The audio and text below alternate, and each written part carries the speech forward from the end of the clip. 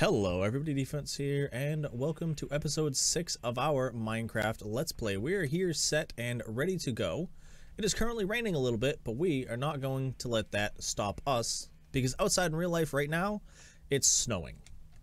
So, I'll, I'll take a little bit of rain for now. What we have for stuff today is I actually need to change up something we did in the last video, and I also want to ask a question. Why, why do all my bees keep disappearing? I don't know where all my bees keep going. I blocked up my nether portal because I know for a fact that there's two of them in there. But all my bees is gone. I don't know where they're going. I've checked around the area already too. And I just... I know two of these were producing and now there's none in here. And these ones are still producing so I'm fine with that. There's still honey coming in. I just gotta figure out where all those guys went, and I'm kind of bummed that they're gone. But I will end up getting that set up, but if you guys know why, please do let me know. It'd be very much appreciated if you guys know much about the bees. But one of the things we have to change up, as I said, is something that I did last video, and that was this here. I wanted to try something different down below and it's not really working out how I'd have hoped. So what I have to do is change it out and it's going to be real easy. I think I have everything over here already left over from the build. But I tried using a detector system down below. Uh, what do I want to use? We'll use some of this. And as I said, I, I just, I don't like it. It's not working the way I'd have hoped. It's kind of messy. Do I have slime? I do. I need one, two of those comparators. Yep, okay, good. So we're just gonna go, I looked at doing a chicken randomizer, but eh, I'm just gonna go, I'm just gonna go full redstone on this one. We will, as I said though, mess around with other bits in the future. Whoop, so that'll do that. But yeah, we're just, I don't want to say it's a waste down here, because it's not all about efficiency, but being able to have a fully functioning system that is consistent is, in my opinion, a lot better. So, we are just going to build the, uh, the Etho Hopper Clock. Boom, boom, boom. It's honestly really simple to do.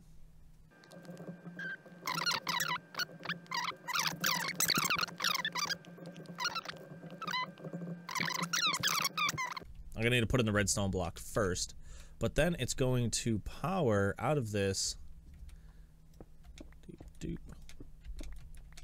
And I need to do, I didn't bring my falling block either, which is kind of a bummer. So I need that to go there. We need a repeater. I'm going to set it to that just to be safe. I don't think it needs to be on that, but we are going to set it to that. I might have to change where these torches are because I need to go into the side of the block. Um, can I flip that over to there or no? Actually, you know what? I can do it this way. Boom. So yeah, let me change this up there. Yeah, we'll do it this way. We'll do it this way. So we're going to come out of here and I'm going to need a repeater off of this. As I said, I don't remember if I need repeaters off of this, but I'm going to put repeaters off of this. And, oh, actually, no, that's going to work. I could have just left that the way it was. Bummer, man. Boom, boom, boom, boom, boom. And that'll be there. So I just need to... This creates a one tick pulse. Why am I doing that? I have this. Yoink. Okay, now it's night. Hopefully I'll be able to... Nope, I won't be able to sleep. Alright, well that'll be fine. Let me get this wrapped up, take a quick nap, and once that is done, I will show you guys what we got. So I ended up having my ticks reversed. This can be at an... Actually, I think this can even just be a piece of redstone. But I'm going to leave it as a repeater just to be safe. But as I said, I'm pretty sure you can use it as a piece of redstone. The way it works is you'll have that there. And when this switches over, it'll do that, which will fire a single tick through this. This makes it so it's, you know, readable so it can be transferred through and then it goes up, pops everything down and puts it in the chest. And we got 13 pumpkins from that harvest. And what I'm going to do is I'm thinking I want to do a stack And I'll probably end up varying the time. I just, I think each item is 0.7 seconds or something like that. I could be wrong. I don't actually remember. It's been a, as I said, it's been a while since I've actually done this. So you know what I'm going to do? I'm actually going to,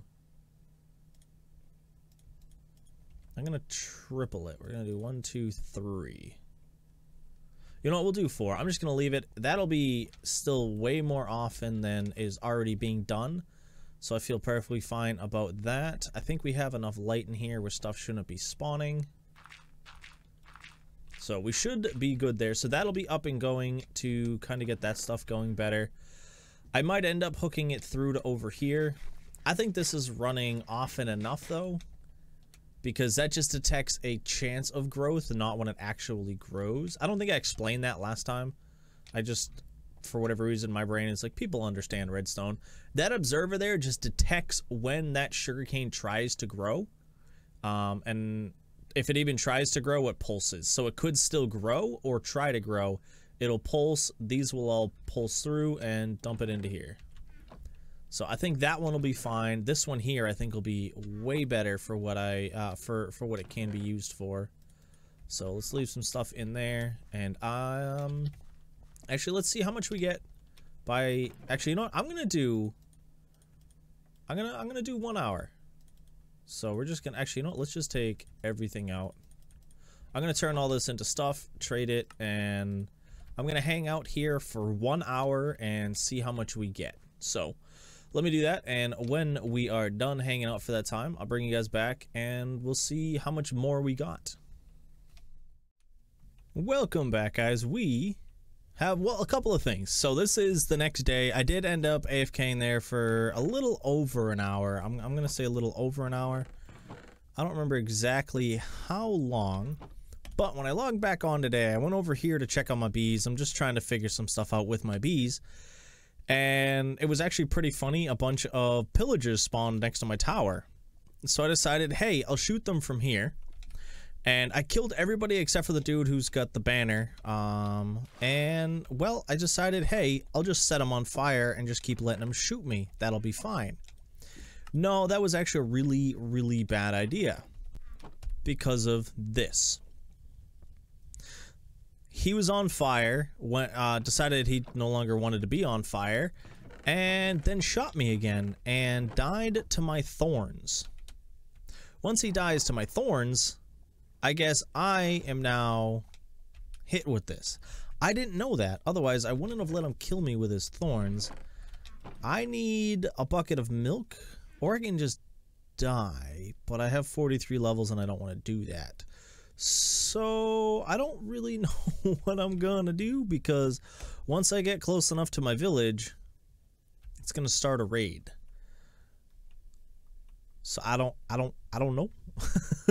I could just go off and go caving, uh, which I probably will do because I'm gonna, I'm gonna take like a little bit of time. Actually, you know what? I'll do that. I'll take a little bit of time because I got to go find some more beehives, which I think will be good. I'm actually gonna head off that way to find beehives and while I'm doing that, I'm going to try and do a bit of caving to get myself one more piece of iron so I can milk a cow and get rid of this uh, uh, bad omen. Is that what it's called? Yeah, bad omen. Because I really, really don't want to deal with a raid at my base right now. Uh, everything else will be fine. I think the only thing I'll have a little bit of trouble with are the... Not the Vindicators. Who are the dudes who, who shoot the, the little Vex dudes at you? Whoever they are, and and the, the well I could take out the Ravengers from range but I don't want to take on a raid yet because I don't know if I can defeat it. And my base really isn't set up in a good way for a raid. I could go up to my tower but they'll just go and attack the village. So we're gonna have to wait on that but I just want to let you guys know what was up with that. I'm gonna go out and try and find some more bees hopefully grab a couple of hives, hopefully get rid of this bad omen, and once we come back, I have maybe one more build, or we might change up something on another one of the builds. So I was out on the trail ranging, heading off that way as I had planned, trying to find some bees and a little bit of iron so I could milk up to make it so that I could go back to my base. And after getting a little bit of iron, which I actually found underwater, which was great, I was about to give up and just deal with it. When I uh, decided, hey, while we're out here, let's turn and ask our, our pig friends about any beehives in the area. So I went and I asked one. I, I turned around and I asked him. And you know what he said to me? He said, Bud, you don't need to go looking for him. And you don't know why I don't have to go looking for him? Because if you do this, they spawn. So I want to thank our little piggy friend out there, Sven. He's uh, off over that way. I think I should start carrying funny name tags and name pigs so I ask directions for. I think that's something I should do. So if you guys have names for pigs, please do let me know down in the comments down below. But if you guys don't know what I'm talking about, all the time in this game, there, there are two things I do. When I need directions on how to get somewhere or to find something, I ask pigs. They've never steered me wrong. I'm not even kidding. We did it in stream, the I think the first stream I did in this world, we were trying to find the ocean. And I asked a pig, and not only did we find an ocean, we found a shipwreck, we found our kelp that we needed, we found a bunch of other cool stuff. I found a couple of nautilus shells out there. Uh, not nautilus shells, hearts of the sea. Nautilus shells are the things I need to go around them. Uh, so pigs are the best. That's also the reason I don't farm pigs in the game. Anytime a pig gets hurt, whether it's by me or just in the area, something bad happens to me. So I do not harm pigs in Minecraft or notice or or like let them come to harm if I can help it because if it happens it's not good for me. So, I have been here for a little bit farming trees to try and get ourselves some more beehives. And all of those hives there, one of them I think is minus one bee. Right when I went to break the hive, a bee popped out and I whacked him, so I had to run off into the village. And he was angry and was chasing me. And he didn't sting me, but I lost track of him and I honestly don't see him out here anymore. So I don't know if he ended up stinging something else. I don't know if that's how they work. He might have even gone in that nether portal. I don't know. but uh, we're not too worried about that right now. Whoop you'll hear them make the you'll make the the plop sound. Why are you going over there? But there's literally tons of them over here. No, you gotta come back over here, buddy. Come on, come on, come on, little bee. We got we gotta get you back to your home. Bloop. Right there. Ah, good enough. Oof, he just dropped right out of the sky. But yeah, I normally can catch them before the bees come out, but these three decided to, uh, you know, come out a little too fast for me to catch. And they really did spread out. Normally they drop right to the first flower. But this has been pretty good so far. I've been collecting up bees. I also designed a small beekeeping area. It's kind of like a little hut. Uh, it, honestly, it's kind of hard to describe, but it is a pretty fun design. I went out and collected resources for it, and we are going to get to building it in a little bit, but I do want to get a hold of a few more bees because I do have another plan for a larger set of stuff in the future. So I'm going to do that. And then once we're done, I'll bring you guys back over to our current base area and we'll get started on a little bit of building. I'd say now is a good enough time as any to get started on a little bit of building. So what we're going to do is, as I said, I have a pretty simple design. Hey, buddy, you got to come over here. Come on. Come on over here. Come on. Oh, Get one of these flowers. They're now your flowers. All right, there we go. it's time for some building. And what we are going to do is I'm going to lay down a quick foundation here. I'm going to start. Whoop, too many blocks. So uh, it's a pretty fun design. Two, three, four, five, six, seven. It's not anything insane.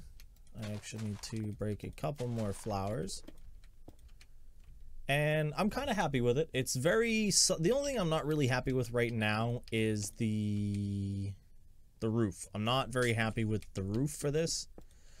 I don't know what I'm going to do with it though. So it's just kind of going to be there until I figure it out. Which is a bummer because as I said, I don't really know what I'm going to do with it yet. I'm going to leave that flower for now until we're pretty much done closing this in. Just so we can deal with that but what I want to do first is this middle piece. Okay, we're going to frame in this so that the bees can't get out.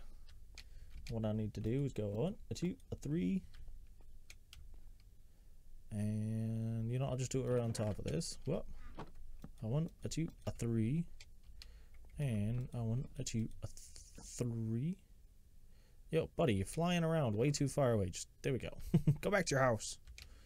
Um, I did have this a little longer initially. One, two, three, four, five, six, seven. Nah, I think this will still be fine. One, two, three. And I don't really know how to describe this. What I'm doing now is I'm trying out a couple of different ideas just to see where I want to take things, if that makes sense.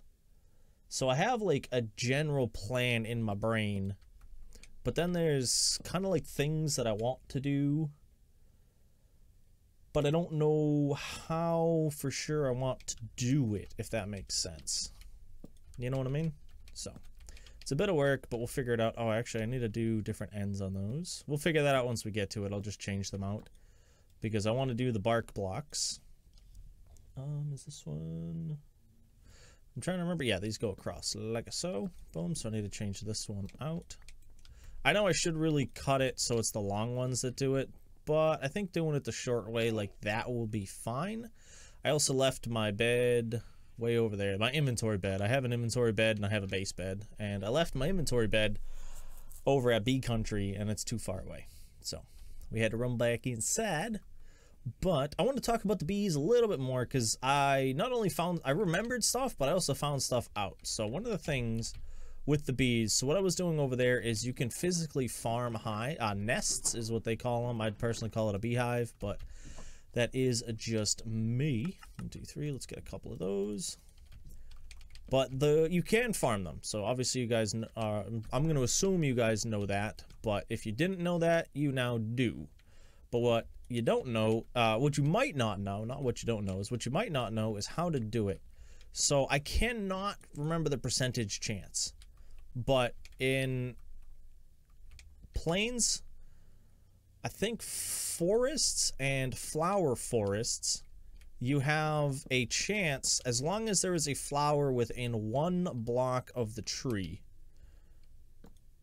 you have a chance of a bee a bee's nest spawning on it. So you want to make sure you keep up with that. Put your bees nests. Uh, that's the best place to grow it. Obviously, if you have access to bone meal like I do, it's real easy. Just go out there and just keep bone meal and trees. But you don't have to do it that way. You can just leave them to just grow on their own. I find the bone mealing part to be faster, so I just kind of get it done. That is beside the point. As I said, for whatever reason, 5% is in my head, and I don't know if that's 100% right. If you do know the correct answer, please do let uh, not just me, but everybody know in the comments down below. But as I said, I'm pretty sure it's a 5% chance, but I could be 100% wrong. So, take that as you will. One, two, three. Because I am not omnipotent and all-knowing. I think those both mean the same thing, but I could be wrong. as I said, I don't know all knowledge, but I did want to share that little bit. And you can silk touch them to pick up the hives. If there's no bees, there's no bees. Uh, well, there should always be bees in the hive. So if you do pick up a hive that has no bees in it, there are going to be no bees in it when you pick it up. So as long as they haven't exited yet or they've gone back in, you'll be able to pick up the bees. So that side there is done. This is actually the easiest part. the rest is a bit more, we'll say, work. So um, let's go through. We're gonna bloop, bloop, bloop, bloop, bloop. Oh, I still have to do the logs on top. oh, I forgot some logs. Right, that'll be fine, though. As I said, this is... Um, I'm changing up a couple things about this design as we do build it. There's a couple of things that I was initially fine with, but after watching it for a bit isn't going to work. So initially... Whoop, okay, oof, still got my still got my step up. Initially, I was going to let it just stay...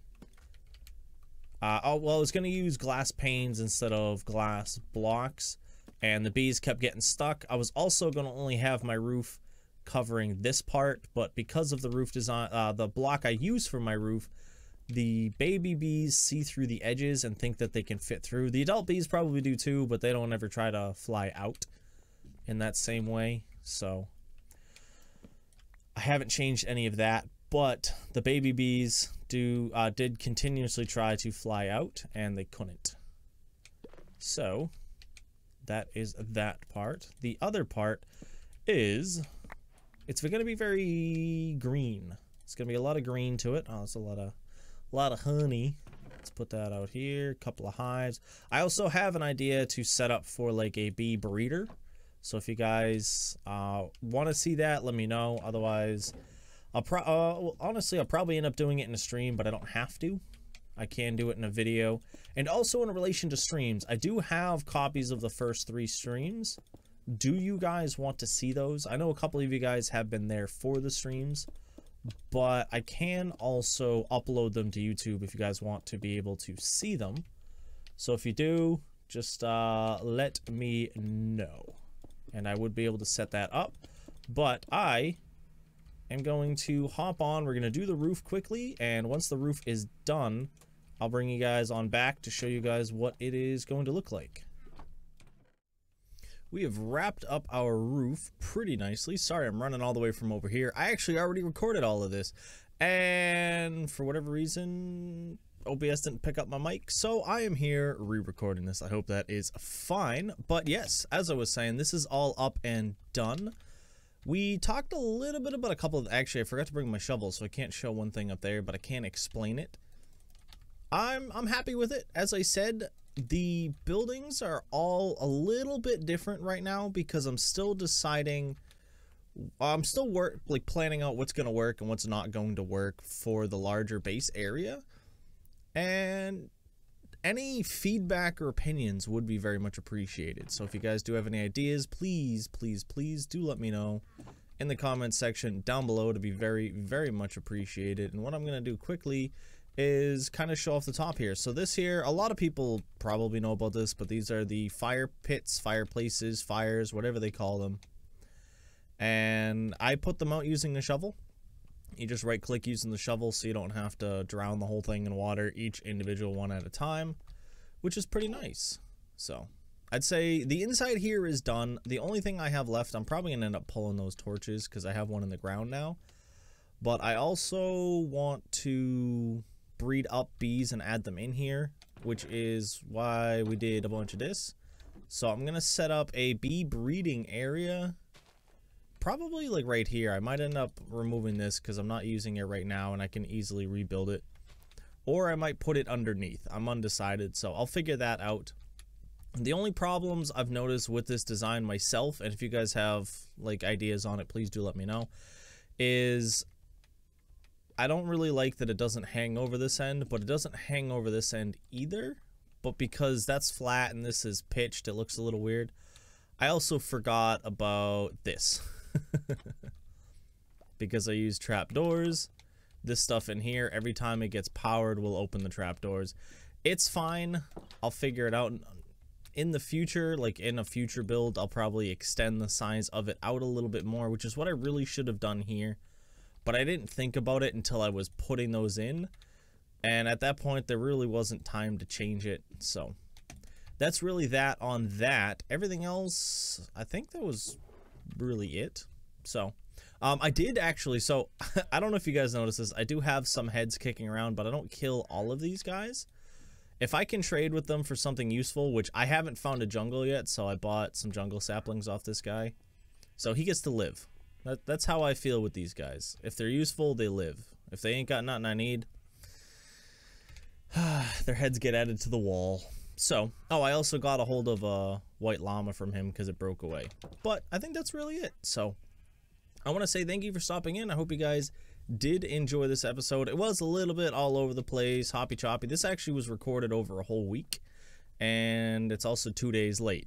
So, yeah, that kind of stuff happens. But as I was saying, thank you for stopping in. I hope you did enjoy. I'm naked because I was just AFK in my little box over there. So, oh, actually, speaking of the boxes, before I close out, I know they're rather slow. I, I understand that. They're early game starter farms. I'm fine with it. We're going to build some crazy massive farms later. So I just wanted to say that now. Obviously, if you have cool farm ideas, please do let me know. Also in the comments. But yeah, as I was saying, with that, thank you for stopping in. I hope you did enjoy, and hope you all have a nice night, day, morning, evening, whatever it is, wherever you are. This is my defense. I hope to see you again soon. Peace.